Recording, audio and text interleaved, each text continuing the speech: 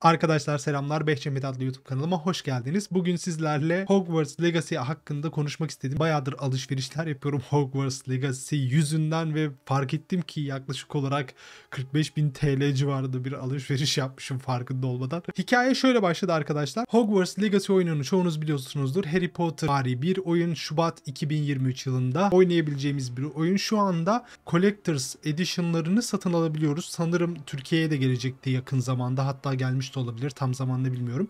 Ben İngiltere'de yaşadığım için bu Collector Edition'ları önceden sipariş verebildik.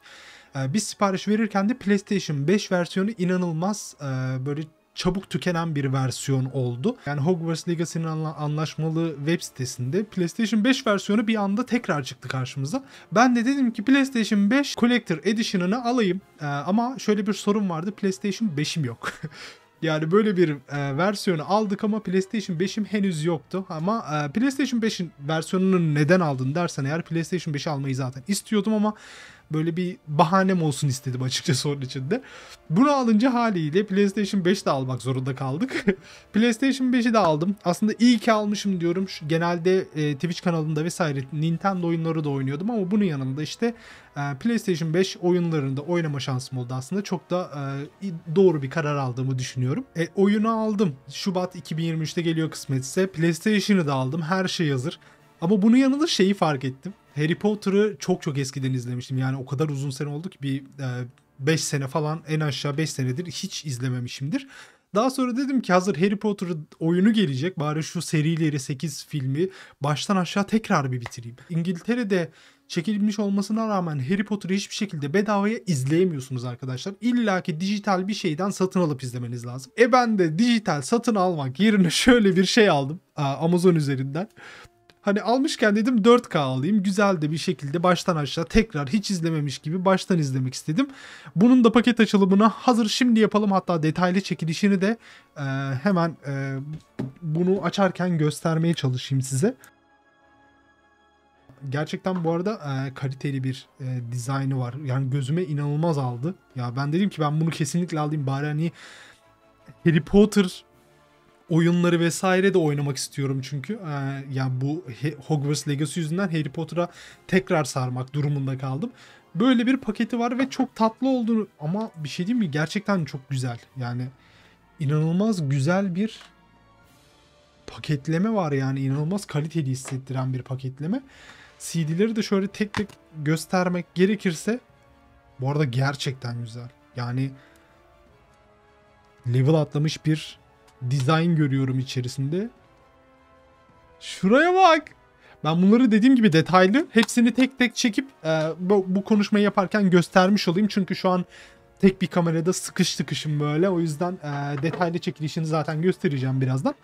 Bunun yanında hemen göstereyim. E, e, dediğim gibi CD'leri aldık. Her şey yolunda. E, güzel 4K izleyeceğiz. Daha sonra fark ettim ki benim televizyon da bayağı eski. Biraz da büyük bir televizyon alayım dedim. LG'nin C2C2 adlı OLED televizyonu indirime girmişti. 1260 ee, küsür pound onu da e, ekran görüntüsünü veririm.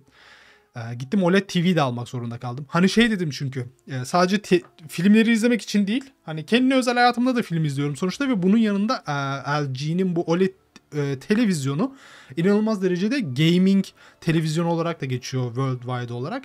Ben de dedim hazır PlayStation'da var. Onun üzerinden de 55 ekran bir televizyon alayım. Koca bir ekranda hem e, dizileri izlerim, serileri izlerim, filmleri izlerim. Bir de yanında oyunları oynarım dedim. Bir de ona para gitti. Her versiyonunu almışken ba- başlamışken Harry Potter'a dedim bari Nintendo'cu Ersan gitsin Nintendo oyununu da alsın böyle bir. Nintendo e, paketimiz de var. Hem hatta bunu da açmış olalım. Bu videoyu böyle olacağını düşünmemiştim öyle ama inanılmaz paket açılışı videosuna dönüştü.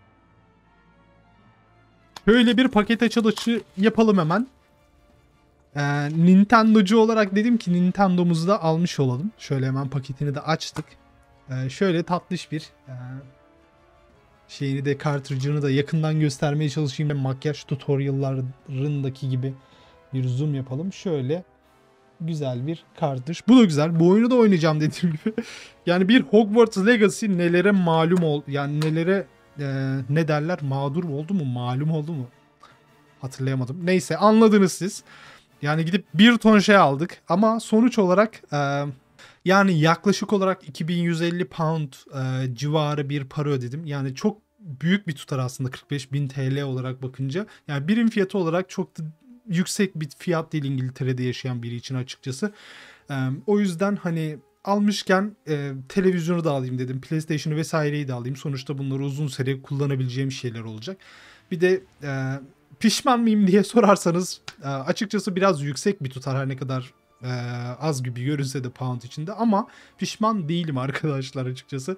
Yani sonuçta e, Harry Potter'ı OLED TV'de izleme şansım olacak. PlayStation 5'im oldu. Onu da OLED üzerinden oynama şansım olacak. Çok güzel oyunlar var ve gelecek olan 2023'teki Hogwarts Legacy'yi de dört gözle bekliyorum. Onu da Twitch kanalımda oynayacağım. E, izlediğiniz için teşekkür ediyorum arkadaşlar.